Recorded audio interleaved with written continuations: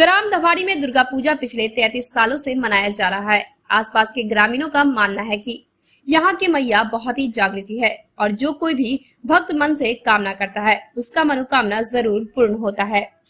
इस गाँव में बनी मैया की मूर्ति मिथिला प्रसिद्ध है, जिसे देखने दूर दूर से लोग आते हैं।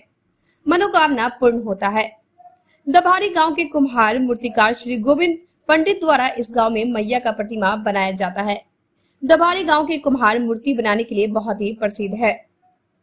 श्री आलोक मिश्रा और पुजारी श्री विमल झा और अन्य कार्यकर्ता द्वारा संचालित किया जाता है। खास बात यह है कि पूजा समिति के सभी सदस्य का औसत उम्र तेईस वर्ष है। मौका लगे तो मैया का दर्शन एक बार अवश्य करें।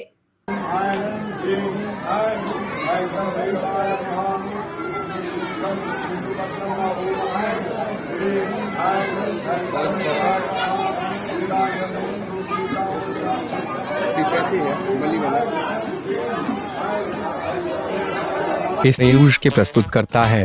City centre the complete multi brand men's wear showroom Subhash Chowk Darbhanga. ली एक सक्लूसिव शोरूम सुभाष चौक। और दैनिक कौमी तंजीम न्यूज़पेपर दरभंगा।